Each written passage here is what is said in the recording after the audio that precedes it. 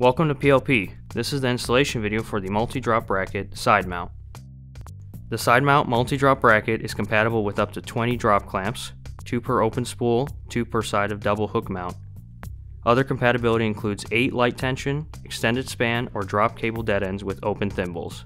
Each spool location on the bracket is rated up to 1,200 pounds for a maximum tensile rating of 9,600 pounds. Attach the bracket to the structure using a 5 8 inch through bolt 5 8 inch double arming bolt, or a 1 and 1 4 inch wide banding. Ensure the top arms of the bracket rest on the banding for proper mounting support. In this installation, a double arming bolt will be used to mount the bracket.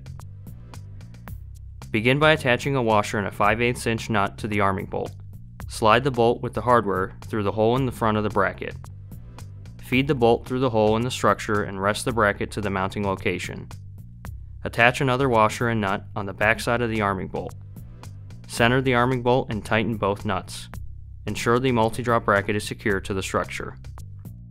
For this installation, we will be using the FIBERLIGN extended span dead end. Begin by feeding the dead end component through the post of the multi-drop bracket and position it parallel to the cable. Begin with the uppermost spool location for easier installation. Ensure that the dead end is aligned wholly within the saddle of a single segmented spool section. Only one dead end per spool section is allowed. After tensioning the lines to your company's practices, align the cable with the crossover mark of the dead end and begin wrapping the legs over the cable. Wrapping of the legs can be done one by one or both simultaneously. Ensure the gap between both legs is evenly spaced.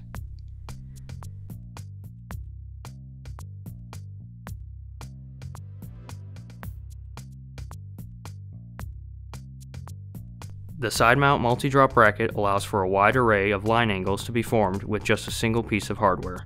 Once installation is complete, ensure all the dead end loops are seated properly in the saddle of the respective spool location. Check that all cables are parallel and free of interference with one another.